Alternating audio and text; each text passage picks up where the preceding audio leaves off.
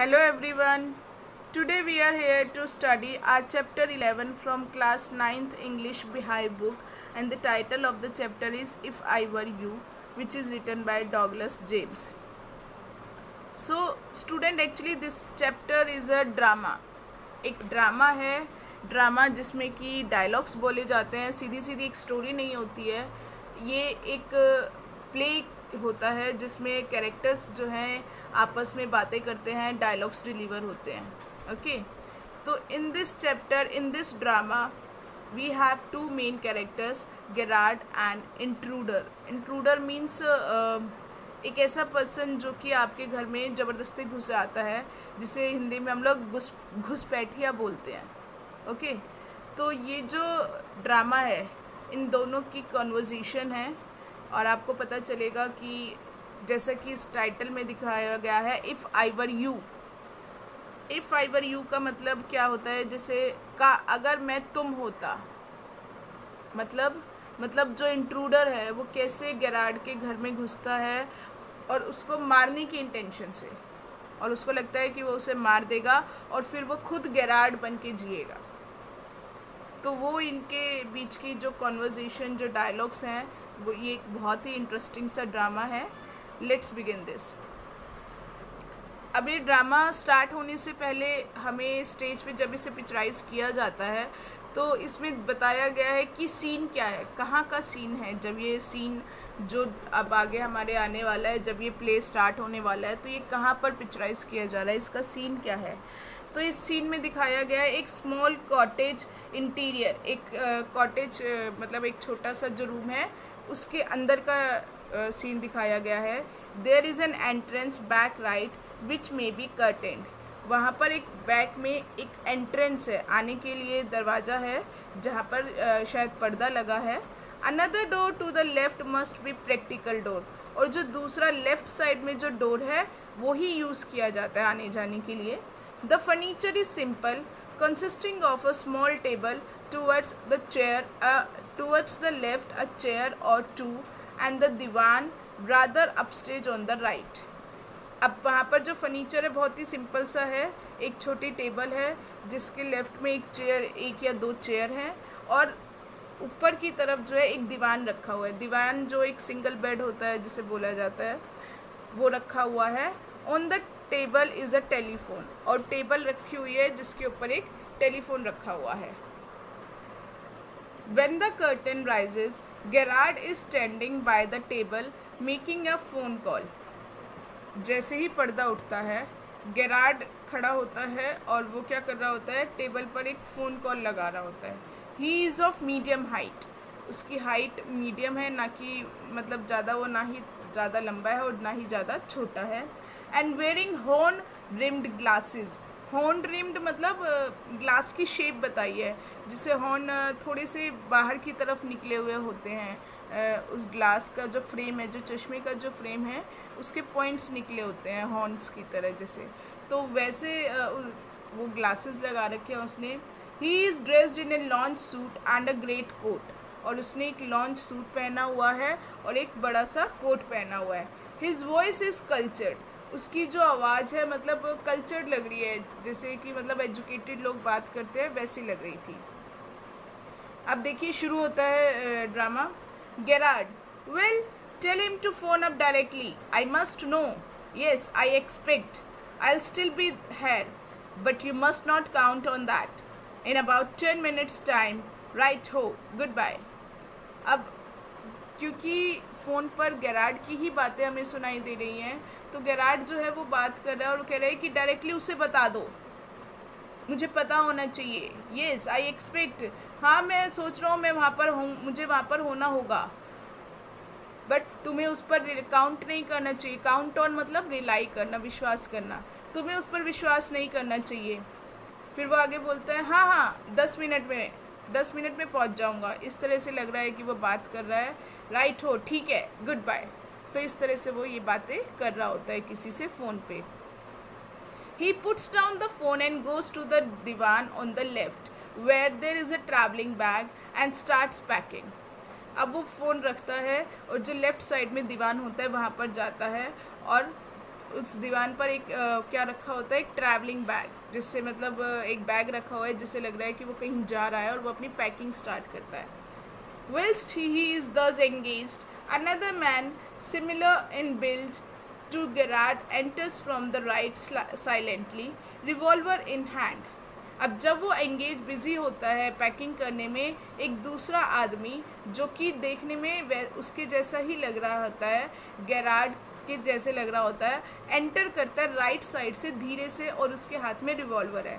He is flashily dressed in an overcoat and a soft hat उसने थोड़ी सी fleshly मतलब थोड़े से चमकीले से कलर के जो होते हैं ड्रेस पहन रखी है। उसने एक ओवरकोट पहना हुआ और एक सॉफ्ट सी हैट पहनी हुई है। He bumps accidentally against the table और वो अचानक से टेबल के उधर जो है कूद के आता है and at the sound Gerrard turns quickly और जैसे ही उसकी आवाज़ आती है गेराड जल्दी से मुड़ के देखता है। Gerard pleasantly why this is you mister अब गेराड थोड़ा सा खुश होकर कहते हैं, क्यों? तुमने तो सरप्राइज़ ही दे दिया। मिस्टर मतलब उसे नाम नहीं पता होता तो ऐसे बोलता है intruder I am glad you are pleased to see me अब वो इंट्रूडर कहता है, मुझे खुशी है कि तुम मुझे देखकर खुश हुए हो। I don't think you will be pleased for long और मुझे नहीं लगता कि तुम्हारी खुशी जो है, लंबे टाइम तक रहने वाली है। Put those paws up paws मतलब हैंड्स तो वो कहता है कि अपने हाथ जो है, ऊपर कर लो।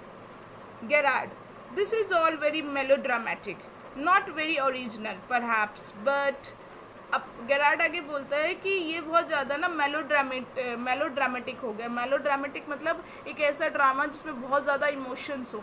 तो कहते बहुत ज़्यादा इमोशनल नहीं हो गया ये सीन कुछ ओरिजिनल ही नहीं लगा।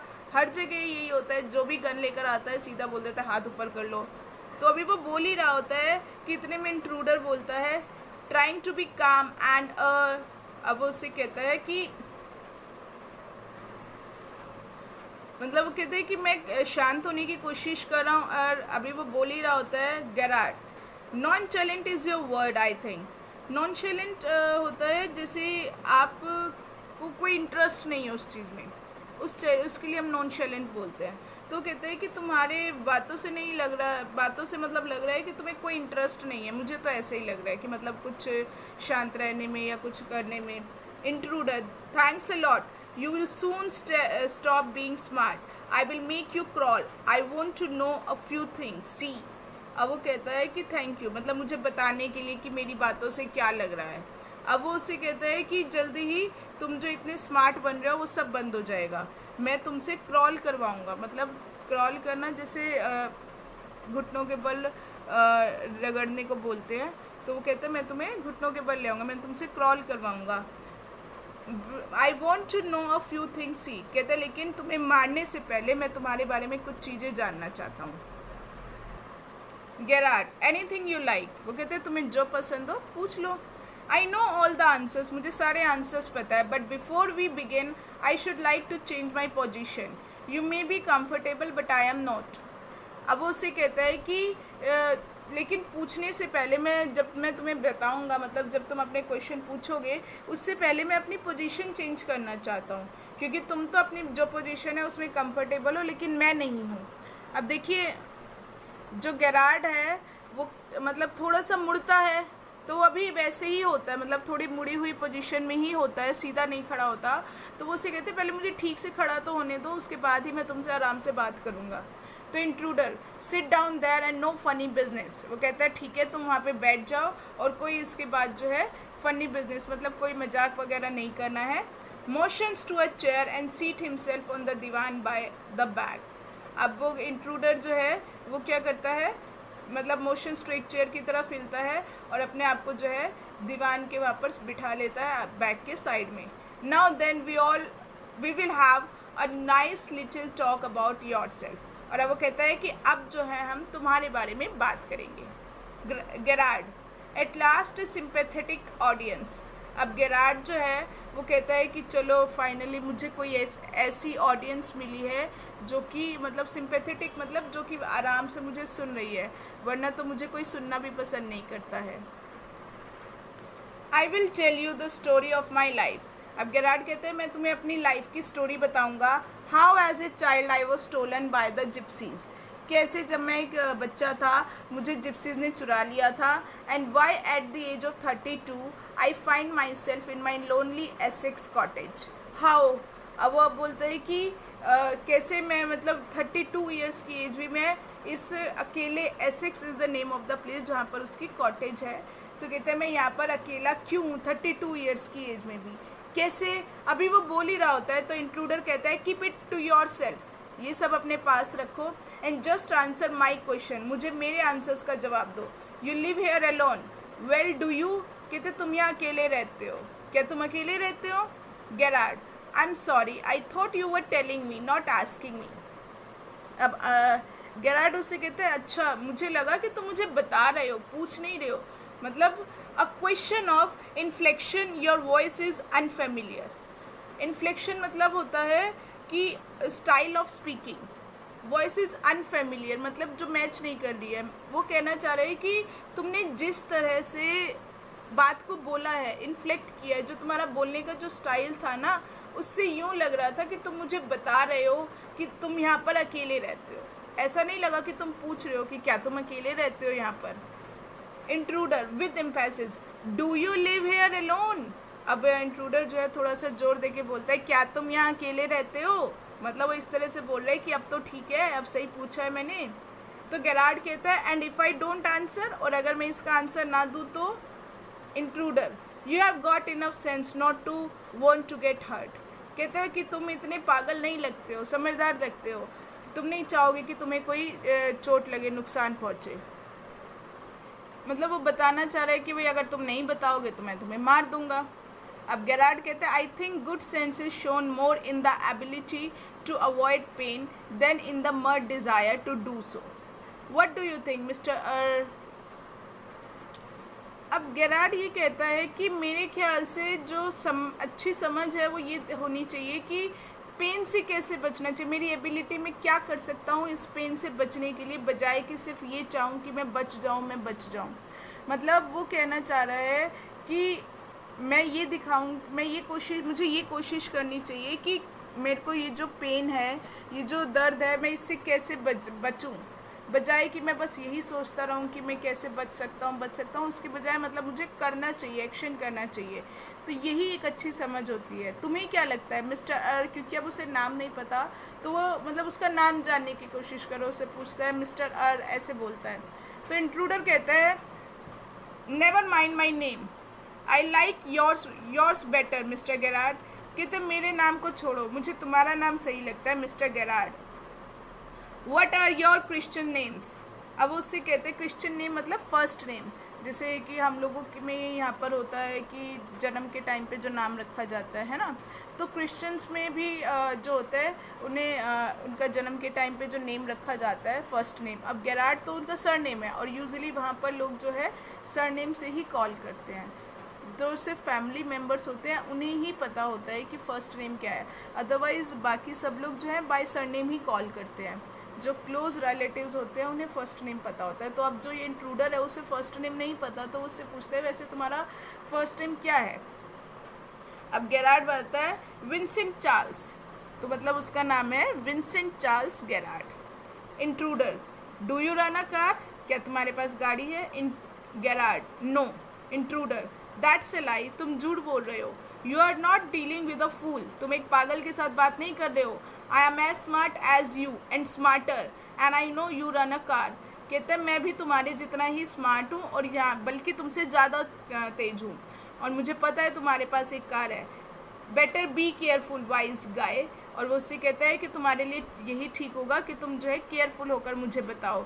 वाइज गाय बहुत ज़्यादा समझदार समझते हो ना? तो Gerard are you American or is that merely a clever imitation अब जो गैराड है वो उसे मतलब बातों में उलझा रहा है। वो उसे पूछ रहा है कि क्या तुम अमेरिकन हो? या सिर्फ़ इमिटेशन मतलब होता है नकल करना? या तुम जैसे बोल रहे हो, वो एक इमिटेशन है? मतलब जो तुम्हारा एक्सेंट है अच्छा है मतलब अमेरिकन की तरह बोल रहे हो तो वो उससे पूछते कि क्या तुम सच में एक अमेरिकन हो? या इतने अच्छे से तुम कॉपी कर रहे हो अमेरिकन एक्सेंट को। Intruder listen this gun's no toy I can hurt you without killing you and still get my answers अब वो कहते हैं, सुनो, ये गन है टॉय नहीं है। और मैं तुम्हें जो है hurt you without killing you मतलब मैं तुम्हें चोट पहुंचाऊँगा, पहुँचा सकता हूँ बिना तुम्हें मारे। मतलब तुम्हें ख़त्म किए हुए, तुम्हें, तुम्हारा मर्डर किए बिना मतलब मैं तुम्हें पहले चोट पहुँचा सकता हूँ। और सारे आंसर्स ले सकता हूँ। मतलब वो दिखाना चाह रहा है कि इस रिवॉल्वर के उस बेस पर वो क्या करेगा? मतलब उसको दिखाकर, उसको डराकर जो है, वो सारे आंसर्स निकलवा सकता है। तो वो कहता है कि मैं तुम्हें चोट पर इतनी चोट पहुँचाऊँगा कि तुमसे सारे आंसर निकलवा सकता हूँ। तो गैराड उससे कहता है of course if you put it like that I be glad to assist you कहते हैं हाँ वो तो मुझे पता है, बेशक तुम ऐसा कर सकते हो। मुझे खुशी होगी तुम्हें असिस्ट करने में, बताने में। I do possess a car and it is in the garage round the corner वो ये दिखा रहा है कि हाँ वो डर गया, वो उसको मतलब बता रहे सारी चीज़ें। तो वो कहता है कि मेरे पास एक कार है और वो जो है अभी गैराज में खड़ी है।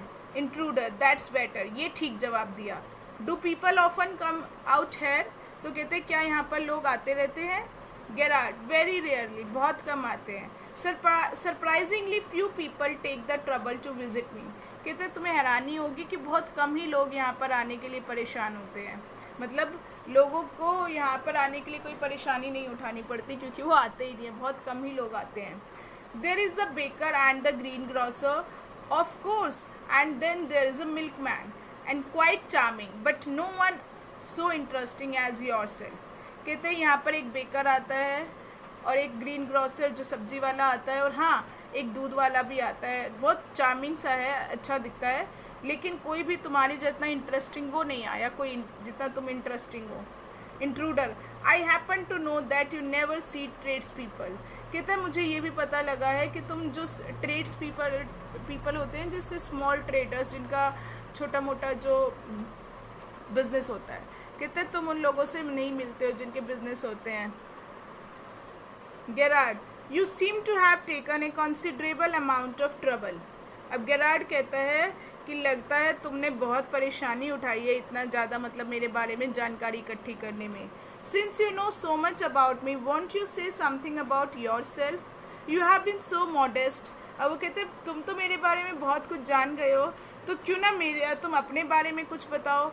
You have been so modest modest मतलब होता है बहुत ही हम्बल सा होना डाउन टू अर्थ होना तो कहते तुम बड़े मॉडेस्ट हो मतलब अपने बारे में तो कुछ बता ही नहीं रहे हो। तो intruder I could tell you plenty plenty वो कहता है कि मैं बहुत कुछ बता सकता हूँ you think you are smart but I am the top of the class round है।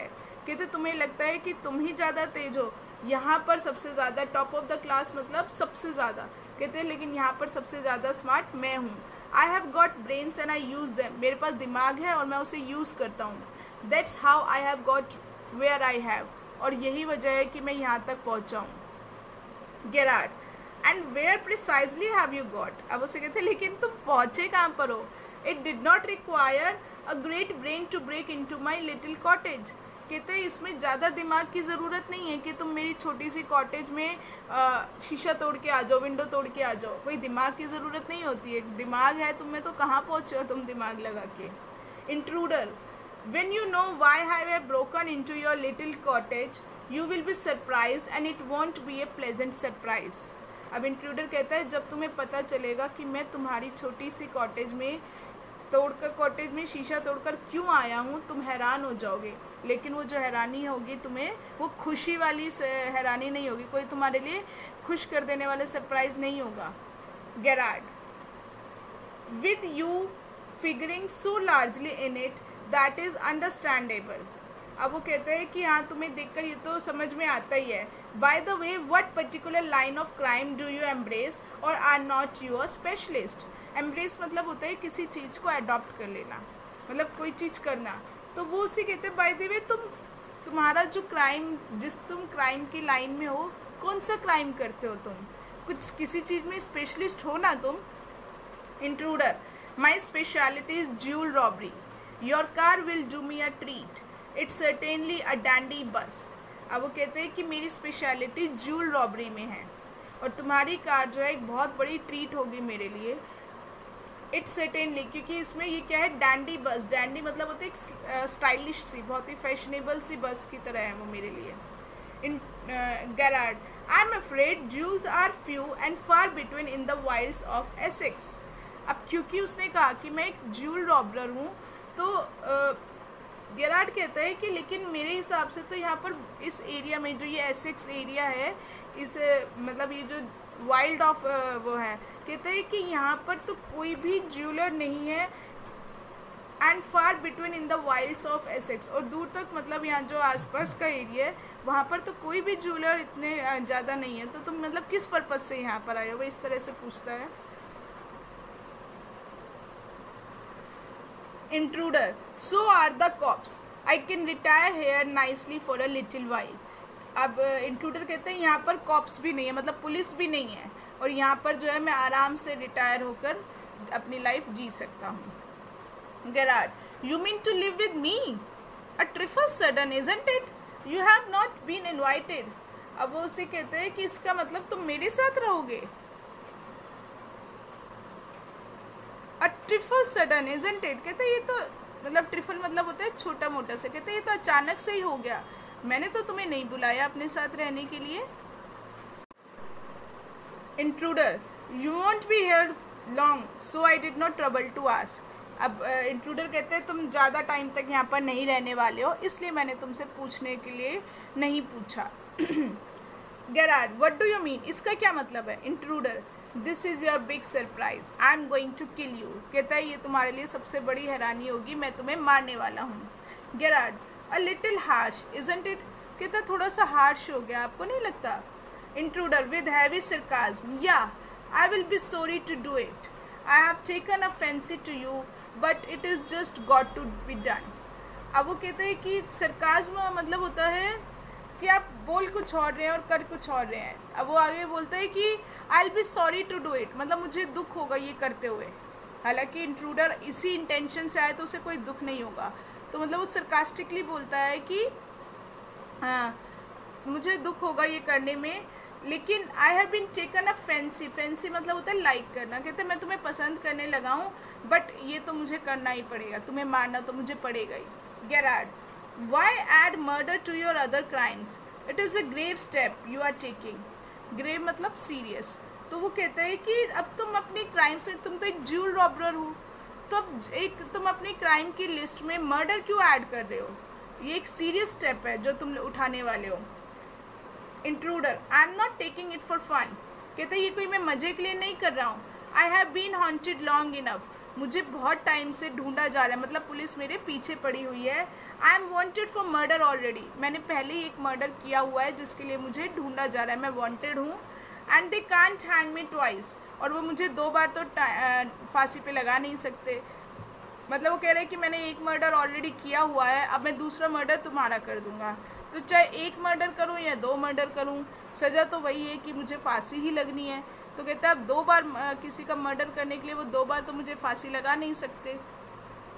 Gerard you are planning a gracious double so to speak gratuitous होता है मतलब बिना किसी रीज़न के कुछ करना। तो कहते हैं कि मतलब तुम जो तुम बोल रहे हो, वो जो तुमने प्लान किया, जो तुमने सोचा है, बिना रीज़न के कर रहे हो। मतलब तुम्हें पता है कि मतलब तुम्हें कुछ नहीं होने वाला। Admitted you have nothing to lose but what have you to gain कहते चलो मान लिया कि तुम्हें कोई नुकसान नहीं होगा। तो अगर तुम दूसरा खून भी कर दोगे, दूसरा मर्डर भी कर दोगे तो तुम्हारी कुछ फ़र्क नहीं पड़ेगा। लेकिन तुम्हें मिलेगा क्या इससे? Intruder I have got freedom to gain और जो मुझे मिलेगा वो है फ्रीडम आज़ादी। As for myself I am a poor haunted rat कहते जहाँ तक मेरी बात है मैं एक बेचारा रैट की तरह मतलब मुझे एक ऐसा रैट हूँ जिसे ढूंढा जा रहा है। As Vincent Charles Charles Gerard, I am free to go places and do nothing. अगर मैं विंसेंट चार्ल्स गैराल बन जाऊँ तो मैं फ्री होऊँगा कहीं भी जाने के लिए कुछ ना करूँ। I eat well and sleep and without having to be ready to beat it as a, at the sight of cop.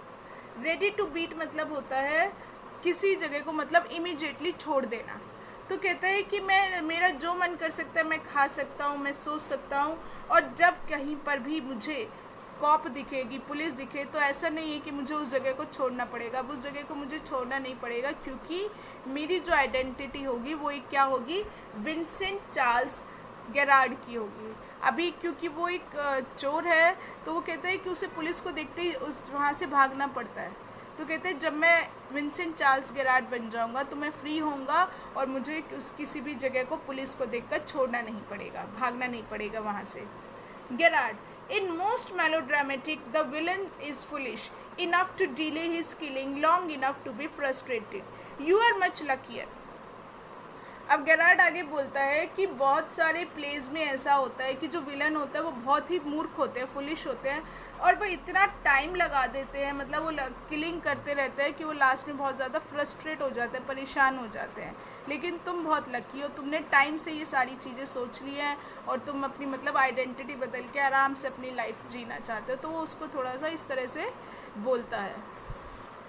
Intruder I am okay I have got a reason for everything कहते मैं ठीक हूँ और मेरे पास हर एक चीज़ का एक reason है। I am going to be Vincent Charles Gerard see अब कहते हैं कि देखो, मैं अब क्या बनने वाला हूँ? Vincent Charles गिरार I have got to know what he talks like और मुझे ये जानना है कि वो कैसी बातें करता है। नाउ आई नो अब मुझे पता है। That post stuff comes easy कि वो पोस्ट स्टफ़ क्या होता है? जो मतलब वेल्दी uh, स्टाइल होता है जो अमीर लोग जिस तरह से बोलते कहते हैं ये बहुत इजी है ये स्टाइल तो जो पोस्ट स्टाइल है ये बहुत इजी है ये तो आ जाएगा. This is mister V C Gerard speaking mister V C Gerard जो है वो ऐसे बोलते हैं। अब वो क्या करता है? मिस्टर वी सी गेराड की तरह मतलब बोलने की एक्टिंग करता है। Pantomime of phoning in imitation cultured voice pantomime होता है किसी का कॉपी करना। अब वो फ़ोन पर बात करने की आवाज़ कॉपी कर रहा है और बिल्कुल वैसे ही कल्चर्ड वॉइस में जैसे अभी जो थोड़ी देर पहले गैराट बात कर रहे थे फ़ोन पे, वैसे ही उनकी नकल कर रहे हैं। बहुत ही एजुकेटेड पढ़े लिखे पर्सन की तरह। एंड दैट्स नॉट ऑल और इतना ही नहीं, ही स्टैंड अब वो खड़ा होता है गेट अप ए मिनट एक मिनट गैराट स्टैंड गैराट भी खड़ा होता है now take a look at me अब मेरी तरफ़ देखो Gerard you are not particularly decorative decorative मतलब जो तुमने ड्रेस पहनी हुई है, उतने अच्छे से मतलब डेकोरेट नहीं किया, कहते लेकिन तुमने जो ड्रेस पहनी हुई है, बहुत अच्छी नहीं लग रही है intruder no well that goes for you too I have only got to wear specs and I will be enough like you to get away with it वो कहते वो भी तुम्हारी तरह हो जाएगी। मुझे सिर्फ़ स्पेक्स लगाने की ज़रूरत है और इतना काफ़ी है। Gerard what about your clothes लेकिन तुम्हारे कपड़ों का क्या? They will let you down if you are not careful और अगर तुमने उन्हें अच्छे से उनकी तरफ़ ध्यान नहीं दिया तो तुम पकड़े जा सकते हो। Intruder that will that will be all right yours will fit me fine वो कहता है हाँ ये भी ठीक है, तुम्हारे कपड़े जो मुझे बिल्कुल फिट आएँगे. Gerard that is extremely interesting but you seem to miss the point of my remark कहते हैं हाँ ये बात तो बहुत सही कह रहे हो तुम, लेकिन तुम मेरी बात को नहीं समझे हो। I said you were luckier than most melodramatic villains कहते हैं, मैंने कहा कि बहुत सारे जो विलेंस होते हैं, तुम उन सबसे बहुत लकी हो। It was not a tribute to your intelligence you won't kill me for a very good reason कहता है, ये जो मैंने तुम्हें कहा था, तुम्हें कोई ट्रिब्यूट देने के लिए, तुम्हारी इंटेलिजेंस जो तुम इतने ज़्यादा इंटेलिजेंट हो, उसके लिए कोई ट्रिब्यूट नहीं था, मैं तुम्हें कोई शाबाशी नहीं दे रहा था। वो कहते हैं कि यू वॉन्ट तुम मुझे नहीं मार सकते बिना किसी रीज़न के intruder so that's what you think तो तुम ये सोचते हो Gerard you will let me go and thank God you did not shoot sooner वो कहते हैं कि, तुम मुझे जाने दोगे, और थैंक गॉड तुमने अभी तक मुझे नहीं मारा है। Intruder come on what's on your mind better be quick this conversation bores me अब क्योंकि गैराट जो है, उससे बातें किए जा रहा है, उसे एंगेज कर रहा है, उसका माइंड डाइवर्ट कर रहा है तो इंट्रूडर कहता है, क्या है तुम्हारे दिमाग में? जल्दी से बोलो, तुम्हारी ये बातें जो है, वो मुझे बोर कर रही हैं. Gerard your idea is to elude the police by killing me and taking on my identity अब वो कहते हैं कि तुम्हारा ये प्लान है कि तुम पुलिस से इल्यूड मतलब एस्केप होगे बचोगे मुझे मारकर और मेरी आइडेंटिटी लेकर, वो उससे से पूछता है intruder yes I like the idea वो कहता है हाँ मेरा यही आइडिया है।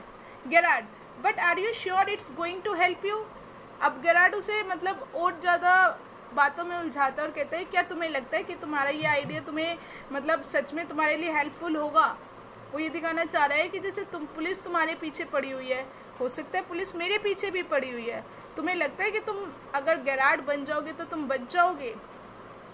Intruder now listen here I have got this all plan I did a job in town अब वो कहते हैं, सुनो, मैंने ये सब कुछ प्लान किया है। मैं एक टाउन में जॉब की है मैंने। Things went wrong and I killed a cop कुछ गलत हो गया था वहाँ पर और मैंने एक पुलिस वाले को मार दिया था। Since then I have done nothing but dodge कहते उसके बाद से मैं कुछ नहीं कर पा रहा हूँ सिवाय डॉज मतलब रन भागने के। मतलब वो पुलिस से भाग रहा है। Gerard and this is where dodging has brought you अब गेराड कहते हैं, और हाँ तुम भागते भागते यहाँ पर आ गए हो। Intruder it brought me to Elsbury कहते हैं कि मैं भागते भागते एल्सबेरी पहुँच गया था। That is where I saw you in the car वहाँ पर मैंने तुम्हें कार में देखा। Two other people saw you and started to talk कहते दो और लोग तुम्हें देख रहे थे और तुम, उन्होंने तुम्हारे बारे में वो बातें कर रहे थे। आई लिसन मैंने उन्हें सुना। It looks like you are a bit queer kind of mystery man कहते उनकी बातों से लग रहा था, तुम थोड़े से क्वीर क्वीर मतलब थोड़े से अजीब से स्ट्रेंज से हो। काइंड ऑफ़ मिस्ट्री मैन मतलब बहुत ही तुम्हारे अंदर बहुत सारी मिस्ट्री है रहस्य है। Gerard a mystery which I propose to explain अब गैराट कहते हैं हाँ एक ऐसा रहस्य जो कि मैं तुम्हें बताने वाला हूँ। इंट्रूडर डिसरिगार्डिंग हिम इंट्रूडर जो है इसे डिसरिगार्ड मतलब इग्नोर सा करते हुए कर रहा है। You phone your orders and sometime you go away suddenly and come back just the same कहते हैं कि तुम फ़ोन पर ऑर्डर करते हो कभी कभी जो है तुम अचानक से चले जाते हो और फिर उसी टाइम वापस आ जाते हो। Those are just the things I want to do कहते और यही सब चीज़ें हैं जो मैं करना चाहता हूँ। Hearing about you was one of my luckiest breaks कहते तुम्हारी बातें सुनना मतलब तुम्हारे बारे में जो मैंने बातें सुनी, वो मेरे लिए बहुत ही अच्छी खबर थी।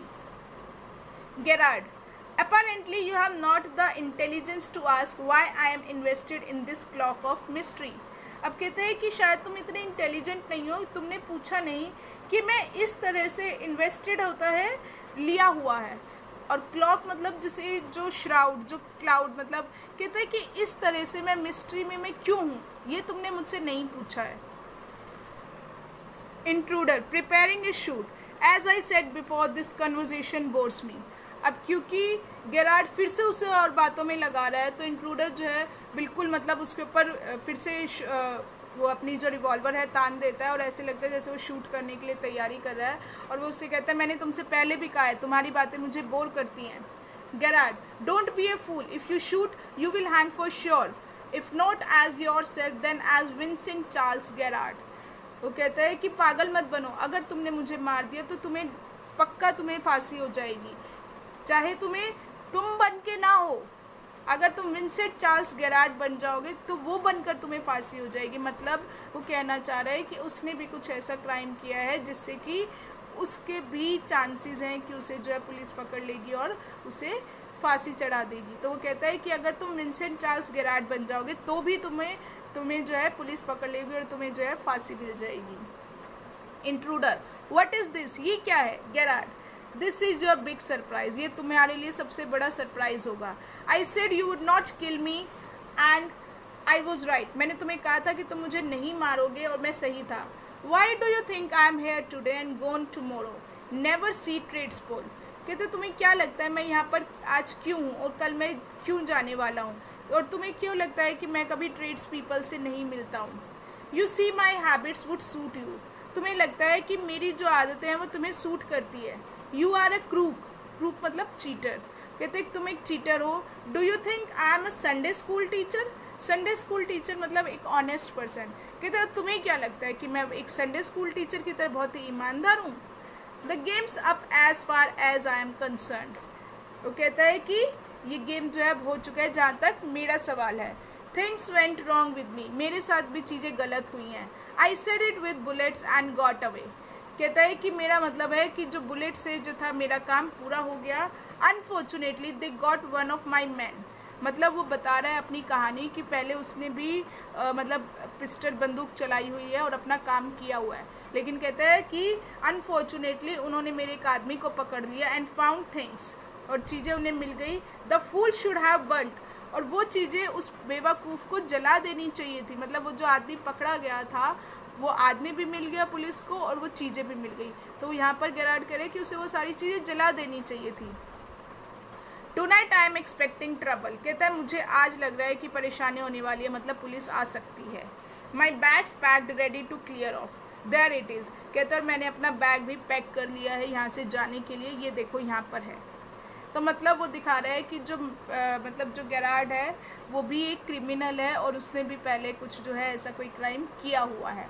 और कहता है कि वो भी फंस सकता है। तो वो उसको इंट्रूडर को बताना चाह रहा है कि अगर तुम गैराड बन जाओगे तो तो हो सकता है तब भी पुलिस तुम्हारे पीछे ही पड़ी रहे। Intruder it's a bag all right and this is gun all right what is all this कहते हैं कि हाँ ठीक है, ये बैग है, ये गन है, लेकिन ये क्या है?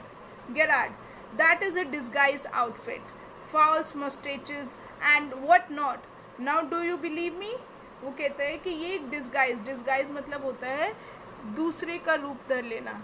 तो कहते हैं कि दूसरे पर्सन बनने के लिए मैंने ये सामान रखा हुआ है। मतलब यहाँ पर गैराड उसे दिखाना चाह रहा है कि वो भी अपनी आइडेंटिटी बदल के रहने वाला है। वो जो है दूसरे का रूप ले लेगा। वो कहता है कि फॉल्स मोस्टेजेस नकली मूछे रखी हुई हैं। अब तुम्हें विश्वास है कि मैं क्या कह रहा हूँ तुम्हें? Intruder musingly I don't know अब म्यूजिंगली वो थोड़ा हैरान होता है, कहते मुझे नहीं पता। Garrad for God sake clear that muddled head of yours and let's go muddled मतलब कन्फ्यूज़ कहते हैं, भगवान के लिए जो तुम कंफ्यूज हो रहे हो, उसको अपनी कंफ्यूजन को दूर करो। Come with me in the car मेरे साथ कार में चलो। I can use you if you find it's a frame you have you have got me in a car and you have still got your gun. वो कहते हैं कि मैं तुम्हें यूज़ कर सकता हूँ और फिर भी अगर तुम्हें लगे कि मैं झूठ बोल रहा हूँ तो तुम मेरी कार में मेरे साथ होगे तुम्हारे पास गन होगी तो मुझे तब भी मार सकते हो। Intruder may be you are right शायद तुम ठीक कह रहे हो। Garrad then Garrad then don't waste time goes and picks up hat and bag अब गैराड कहता है तो ठीक है टाइम वेस्ट मत करो। और गैराड उठता है और अपना हैट और बैग उठाता है। Intruder careful boss I am watching you वो कहता है, ध्यान से, मैं तुम्हें देख रहा हूँ। Garrad I have got a man posted on the main road he will ring up if he sees the police अब वो कहता है कि मैंने अपने आदमी को मेन रोड पे खड़ा किया हुआ है। वो हमें फ़ोन कर देगा अगर मुझे वहाँ पर पुलिस दिखती है तो। But I don't want to leave लेकिन मैं नहीं जानना चाहता। टेलीफोन बेल्स रिंग्स और तभी फ़ोन की बेल बजती है। Come on they are after us वो कहता है कि जल्दी करो, वो हमारे पीछे हैं। Through here straight to the garage अब वो इशारा करता है और कहते हैं कि यहाँ से सीधा हमें गैराज में भागना है। Intruder how do I know that you are telling the truth मैं कैसे मान लूँ कि तुम सच कह रहे हो? गैराड और don't be a fool look for yourself वो कहता है कि पागल मत बनो, खुद देख लो। Garrad open the door and steps away Garrad दरवाज़ा खोलता है और बाहर देखता है। Intruder leans forward to inspect it with his side towards Garrad but with the revolver ready. अब जैसे ही मतलब गैराड दरवाज़ा खोल के बाहर स्टेप रखता है इंट्रूडर भी उसके पीछे झुकता है देखने के लिए और वो क्या होता है गैराड के तरफ़ से देखता है और उसके हाथ में अभी भी रिवॉल्वर होती है। As he turns his head जैसे ही वो अपना सिर मोड़ता है Garrad gives him a push into the cupboard knocking the revolver out of his and hand he slams the door and locks it, picks up the revolver and goes to that phone where he stands with the gun pointed at the cupboard door. जैसे ही वो मुड़ता है, वो Garrad क्या करता है कि उसको धक्का दे देता है कबड़ में। अब एक्चुअल में जो दरवाज़ा गैराड ने ओपन किया था, वो कहीं दरवाज़ा नहीं था कि बाहर जाने का, वो एक कबड़ थी, एक अलमीरा का बड़ा सा दरवाज़ा था। तो अब उसे ये लगा कि ये सच में कोई रास्ता है मतलब दरवाज़ा बना हुआ है, बाहर जाने का रास्ता है। तो जो इंट्रूडर है, वो भी पीछे से देख रहा होता है। तो फटाफट से क्या करता है गैराज जो है, मुड़ के उसको कबड़ में धक्का देता है और उसको वहाँ पर जो है, बंद कर देता है। और अभी भी वो क्या करता है, उसकी रिवॉल्वर उसके हाथ से छीनता है और दरवाजे को बहुत ज़ोर से लॉक बंद करके लॉक कर देता है। रिवॉल्वर उठाता है और फ़ोन की तरफ़ जाता है और जो उसकी गन होती है, जो उसके हाथ में रिवॉल्वर होती है, वो कबड की तरफ़ उसने पॉइंट की होती है। क्योंकि उसको लगता है कि अगर वो बाहर आ जाएगा तो उसे वो शूट कर देगा। Intruder rattles door and shout अब इंट्रूडर जो है दरवाज़ा तोड़ने की कोशिश कर रहा है और चिल्लाता है let me out of here मुझे यहाँ से निकालो. गैराड हेलो येस अब गैराड फ़ोन कर रहा होता है वो बोलता है येस स्पीकिंग हाँ मैं बोल रहा हूँ. Sorry I can't let you have the props in the time for rehearsal props होता है, जैसे कि आपने देखा हो, किसी ड्रामा में या डांस में कोई ऑब्जेक्ट यूज़ करते हैं हम लोग हाथों में तो वो नकली जैसे होता है। तो अब जो गराड के बैग में वो मुस्टेचेस वगैरह रखी थी, वो एक्चुअल में किसी ड्रामा की प्रॉप्स थी। तो वह उसको फ़ोन करके बोलता है कि माफ़ करना, मैं तुम्हें रिहर्सल के टाइम पर प्रॉप्स नहीं दे पाया। I have had a spot of bother और क्वाइट अम्यूजिंग कि तब थोड़ा सा परेशानी आ गई थी और थोड़ा सा वो फ़नी सी अम्यूज परेशानी थी। I think I put it in my next play जिसे मैं, मुझे लग रहा है कि मैं अपने नेक्स्ट प्ले में ये करूँगा। Listen can you tell our friend the surgeon to come up here at once अब कहते सुनो, क्या तुम हमारे दोस्त सर्जन मतलब पुलिस मैन उसको बोलोगे यहाँ पर अभी आने के लिए? You will probably find him in the public bar तुम्हें वो जो सर्जेंट है, जो पुलिस मैन है, वो पब्लिक बार में इस समय मिल जाएगा। तो मतलब गैराज जो है फ़ोन पर किसी को बोलता है कि जो पुलिस को यहाँ पर भेज देना, जो कि उनका एक फ्रेंड है, और वो इस समय पब्लिक बार में होगा। तो इस तरह से और ये कह रहे हैं कि ये बहुत अच्छा सा एक थोड़ी सी ये जो परेशानी हुई थी बहुत ही फ़नी सी थी और अपने अगले प्ले में वो इसे आ, मतलब प्ले करेगा। अपना अगला जो प्ले है उसे इस तरह से पिक्चराइज करेगा। He was actually play writer तो वो प्ले राइट करता था और प्ले कंडक्ट कराता था। So this was your chapter student I hope you all must have understood thank you